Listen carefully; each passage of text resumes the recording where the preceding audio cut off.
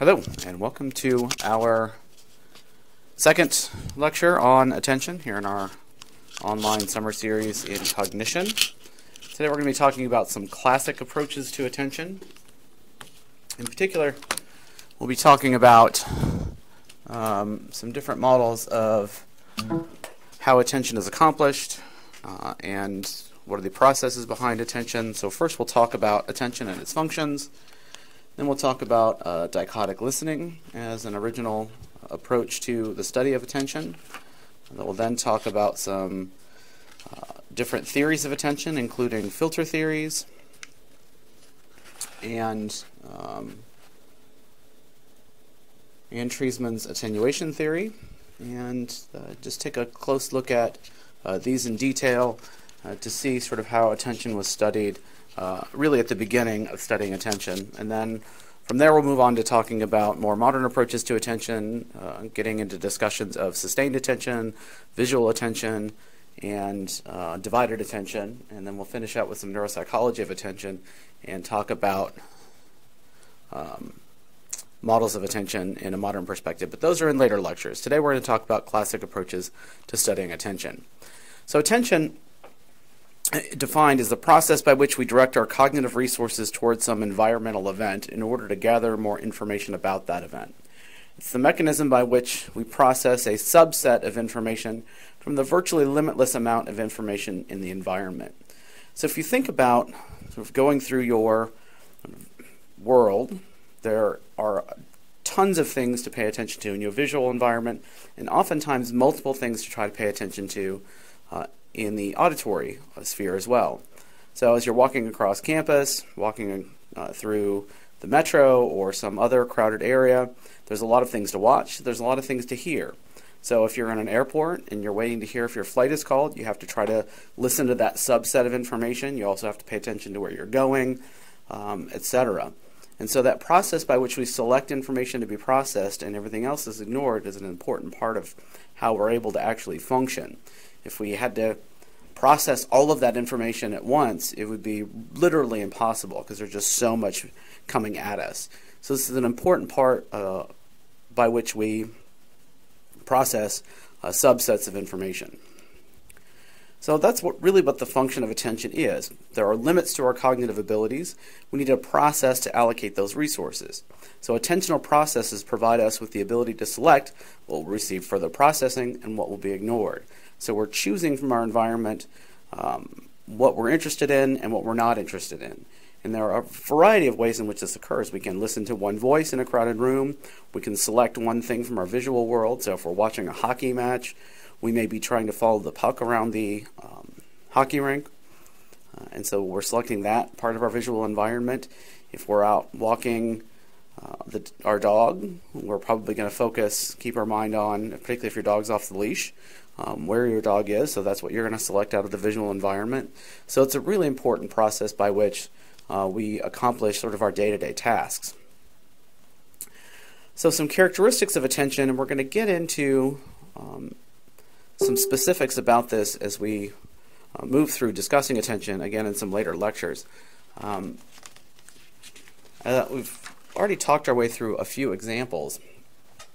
The first thing to understand is that we can focus our attention on one thing while ignoring another, and we call this selective attention. And we'll talk about visual selective attention. Um, today we're going to talk about some early discussions of auditory selective attention. So uh, we can select things to attend to and ignore other things. And that's a really important process by which we're able to process information in our environment. And we'll talk about uh, some important ways in which this research gets uh, applied and some important ways in which uh, we oftentimes have difficulty. So the other thing is we can shift our attention. Sometimes it's intentional, sometimes it's not. There are things that will automatically capture our attention, so we will automatically shift our attention to those things away from something else. Anything that's moving very rapidly in our environment is something we will automatically pay attention to, which is the reason why you get these, you know, wild wavy arm things on the side of the highway at car lots or people out holding up signs and throwing them in the air to try to get you to come do your taxes at their location that movement is automatically capturing your attention. And so you direct your attention to that because of that movement. We also automatically attend to our name um, and some other things like that. In particular, we oftentimes focus our attention on uh, anything that might be dangerous. So one thing we'll talk about is our attention system is in some ways designed as a survival mechanism. And so we'll focus our attention solely on the most dangerous thing in the room, which can result in some difficulties. So, for example, when we get to talking about memory, we'll talk about what's called the weapon focus effect, where all of our attention is focused on that weapon to the detriment of everything else around, including what the person holding the weapon looked like. Um, we'll talk a little bit about divided attention. There's some controversy about whether or not we can genuinely divide attention or just switch between tasks. I think the best way to sum this up is things that require no overlapping resources. Um, probably we can do at the same time. Everything else we're really switching back and forth. The key to all of this is that our attention is limited, and if we exceed uh, those limits, uh, we can get into some trouble. So we're going to start by talking about dichotic listening. We'll get to the cocktail party effect. Um, it's actually under uh, a classic approach. Sorry, under um, filter theory. so, uh, dichotic listening is the sort of classic way in which uh, selective attention was tested. Remember, in order to test selective attention in the laboratory, you have to have something for people to pay attention to and something for them to ignore, and you have to have a way to know they're paying attention to one thing and ignoring the other. So what they did is they presented auditory information via stereo headphones, and the participants shadowed the information from one, from one ear. That is, they listened and said out loud what was being presented in one ear while ignoring the other. And it looks something like this. So here they're attending to, this guy's attending to his left ear. President Lincoln often read by the light of the fire, and that's what he's saying. So he's shadowing this message. And then he's ignoring this input over here uh, in his right ear. Well, what uh, the studies in this area found is that participants could report very minimal information about the unattended message. Uh, in, fact, the best way to sum up uh, what participants could do is they could tell uh, information about the physical aspects of that ignored stimulus. They could tell the sex of the speaker. They could tell if it was speech versus noise. Um, but really very little else. They couldn't uh, detect what language. They couldn't tell the difference between forward speech and backward speech. Um, they couldn't report one word that was repeated over and over and over again. And the interpretation here is that attention is highly selective, that that unattended channel is based, processed based on physical characteristics uh, of a stimuli, stimulus and nothing else. Uh, and the idea being, if you're standing in a crowded room and you're trying to process, listen to one person speak, you're tuning into that person based on the physical characteristics of their voice. And so you're ignoring the others.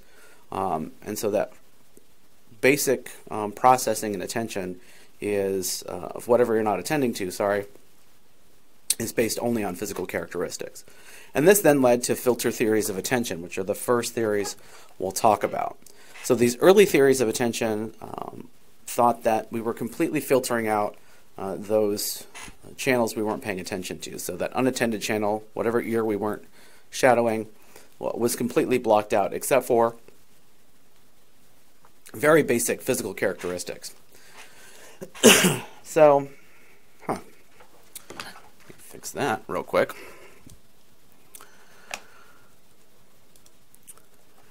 Excuse me. Don't know what happened there. Um, so, this is uh, one of the early um, filter theories uh, of attention. And uh, what we have here is uh, pre-attentive analysis in the sensory register is very rudimentary. We haven't talked really about the sensory register uh, in much detail, uh, but basically this is a very short-term um, copy of the physical stimulus from the environment. So there's an, an, what we call echoic memory. So that sound is kept in the sensory register. Very rudimentary pre-attentive analysis in that sensory register.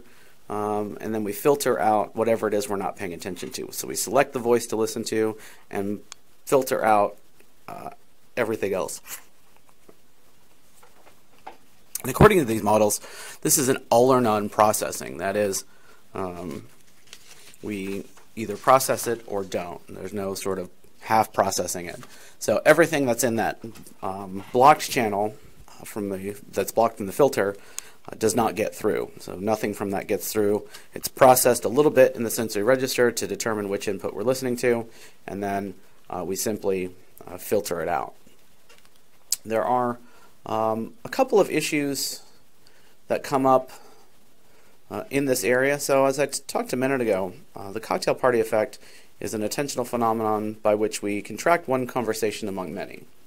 Um, and that was one of the things that led to filter theory, is that because you could block out those other conversations based on the physical characteristics of the voice and focus only on uh, the voice you were interested in. Uh, the problem is that also, going along with cocktail party effects, we will pay attention if somebody says our name, and subjects can actually recognize their own name in that unattended channel in these dichotic listening tasks. And similarly, often are able to pick out their own name amongst a crowd of voices. So this is uh, problematic for filter theory because obviously that's not the physical characteristics of a stimulus, but the meaning of a stimulus. And so uh, that required a little bit of um, alteration of that filter theory to uh, accommodate that particular finding. That leads us to the research of Anne Treisman. And Anne Treisman, um, we'll talk quite a bit about under attention. Uh, she was quite a brilliant scientist. She actually just passed away in uh, 2018. Uh, but she was a pioneer in her field. She um, was the only woman in her psychology department at Oxford. She was certainly the only woman doing um, much cognitive psychology research um, back in the 1950s and 60s. And so, really remarkable um, that she was able to accomplish so much, being that she was the first woman. So, she's qu- quite the, quite a hero in, in my book. Um, but let's get to talking about uh, her th- attenuation theory. So, what uh, Treisman found is that subjects would follow a message from the attended ear to the unattended ear. Um, so, what was happening is they would um, for example, start a sentence in the attended ear and then finish it in the unattended ear. And they would actually, participants would follow that message to the other ear. In order to do this, they must be analyzing the meaning of the unattended channel. So let's first take a look at sort of what was happening in these experiments. So um, here on the left is the attended channel. On the right is the unattended channel. And um, what you can see is the person shadowing the message says, I saw the girl jumping in the street, um, because they follow the meaning of that message. Um, excuse me.